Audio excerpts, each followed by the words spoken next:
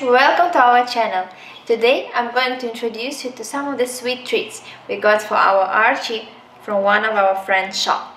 So basically this is organic, freshly made uh, pet treats and you see he loves it. The name of the shop is Okie San's Diary. I have opened some already.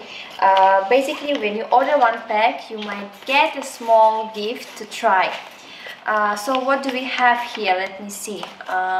One pack is coconut purple sweet potato and milk biscuits. So actually it smells quite nice and he loves it. Uh, another pack is purple sweet potato chicken biscuit. So let's try today the first pack I have opened it myself already because I wanted to see what is inside. And as you can see he really loves it. Wait wait wait my friend he is so excited because the smell is really nice.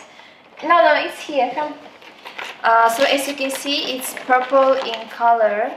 Uh, the package was sealed very well. I was the one who opened it. And as you can see, this is a small duckies.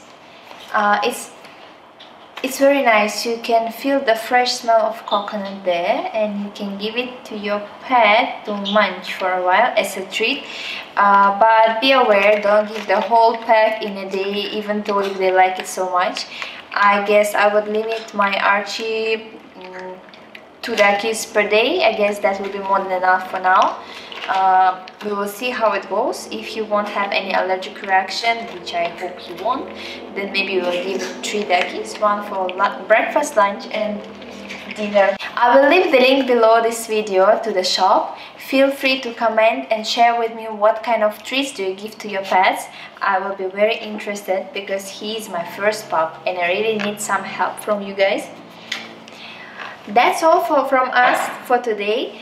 Uh, put likes subscribe to our channel share our video show us support and we will see you very very soon again.